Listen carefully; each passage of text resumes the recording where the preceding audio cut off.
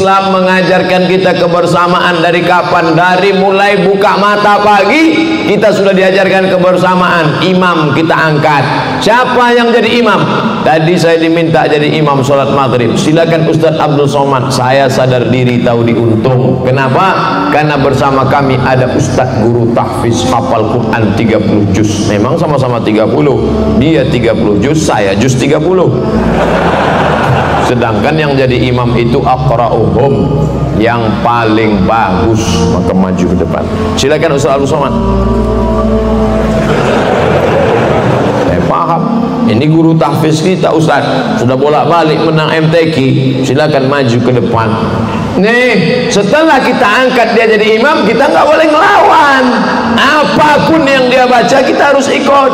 Allahu Akbar. Ikut Ju'ilal imamu liyutamma bih. Imam diangkat untuk diikuti, bukan untuk dilawan. Jangan kamu lawan imam, ikuti saja dia. Tapi kalau imammu kentut, kamu jangan ikut kentut. Imamnya kentut, dia ikut. Imam kalau sudah kentut batal, maka carilah pintu. Tuh pintu makanya masjid itu mesti dibuatkan ada pintu di depan pintu di kiri atau pintu di kanan. Mana tahu imam habis makan rebus ubi pakai sambal terasi. Wah mungkin dia tahan sampai biru mukanya. Maka ketika dia batal dia langsung mencari jalan. Dan orang yang berada di belakang imam itu orang yang memang siap-siap jadi imam. Kenapa? Ada terjadi sesuatu di depan Pak Imam I am ready for you apa pun yang terjadi padamu la takhaf wa la tahzan innallaha ma'ana. Jangan kau takut don't be sad jangan kau sedih aku akan maju ke depan. Nah itu. Makanya yang di belakang imam itu harus orang ngerti sholat sekarang ini anak-anak muda pakai celana jeans nggak tentu arah. Celananya pendek lagi. Begitu dia ke depan oh, baju kaosnya naik ke depan celana jeansnya turun ke bawah sholatnya batal. Allahu Akbar. Naik kaosnya ke atas. Celana jinnya turun ke bawah. Terbuka auratnya. Anak bisa jadi imam. Sudahlah begitu. Orang di depan udah mikir ini batal depan. Ah tulisan depan. Emang masalah buat lo mana dia orang maka kita ini bersama watawasau bil haq saling menasehati dalam kebenaran. Watawasau bis sabr saling menasehati dalam kesabaran. Allah apa itu Ustaz Somad? Ceramahnya di tempat orang yang sudah soleh. Ceramahnya di tempat orang yang sudah baik. Ini kan orang baik semua nih. Sedangkan yang diperintahkan dalam Quran udu ila sabili rabbik. Ajak orang ke jalan Tuhan. Apa maknanya? Ada yang sedang berada di jalan setan. Ada yang sedang berada di jalan iblis. Ajak mereka ke jalan Tuhan Siapa yang mengajak mereka yang sedang berada di night club? Siapa yang mengajak mereka yang sedang berada di diskotik? Siapa yang mengajak mereka yang sedang berada di terminal sekarang? Siapa itu? Ada di antara kita.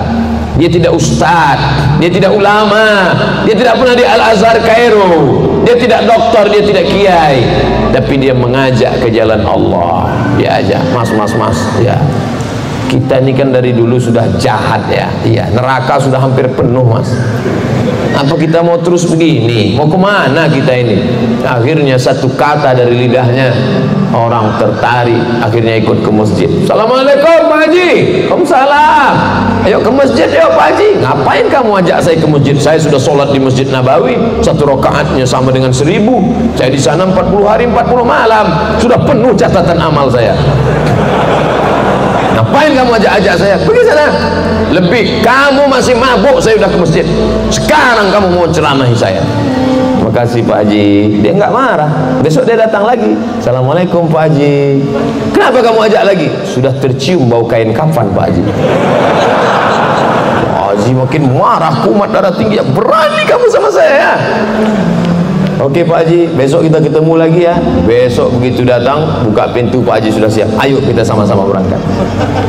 Setelah sampai ke masjid, kumpul semuanya rame, datang sampai enggak muat, sampai keluar, barulah dipanggil. Berikut ini mari kita panggilkan Al Mukarram Haji Abdul Somad LCM.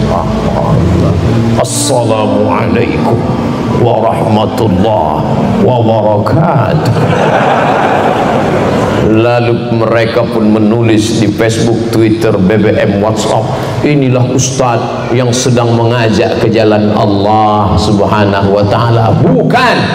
Dia bukan mengajak ke jalan Allah.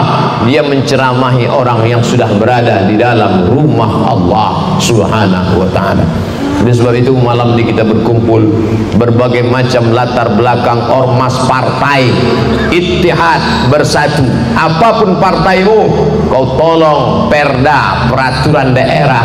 Apa pun ormasmu kau menegakkan agama Allah. NU Muhammadiyah PRT Persis Jamaah Tabligh Salafi apa pun namanya semuanya sepakat bahwa sholat subuh itu wajib. Belum pernah ada ngomong ke saya Ustadz Somad tolong carikan yang sholat subuh sunat wakad enggak ada. Semuanya sepakat sholat subuh itu wajib. Masalah teknisnya gimana? Nah itu baru ada khilafiyah. Yang satu tangannya sampai ke telinga. Akbar yang satu enggak sampai telinga cuman sampai bahu. Allahu Akbar. Yang satu pakai usolli. Usolli fardhos subhi rakaataini adaan makmuman lillahi taala. Yang satu enggak pakai usolli. Allahu Akbar. Yang satu bismillahnya jahat. Bismillahirrahmanirrahim. Yang satu bismillahnya bismillah silent. Enggak usah dipermasalahkan. Ju'ilal imam liyutamma bih. Imam diangkat untuk diikuti. Guru kita ustaz kita. Bapak Ibu hadirin hadirat yang dimuliakan Allah. Oleh sebab itu maka jangan lagi dipermasalahkan yang tidak masalah